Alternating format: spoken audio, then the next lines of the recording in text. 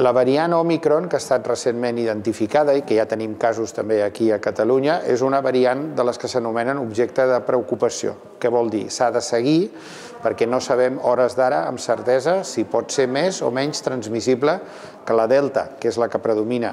No sabem si les vacunes, com pensem, seguiran sent efectives per prevenir els casos greus de malaltia, però tallaran o no la transmissió. Hi ha moltes incògnites encara referents a aquesta nova variant i és qüestió de dies i de setmanes que tinguem respostes a algunes d'aquestes preguntes. Entre tant, les mesures de precaució són sempre les mateixes, vacunar-se i utilitzar les mesures com la mascareta, la ventilació, no anar a llocs amb molta gent i ser prudents, especialment en aquestes properes festes del pont i de Nadal.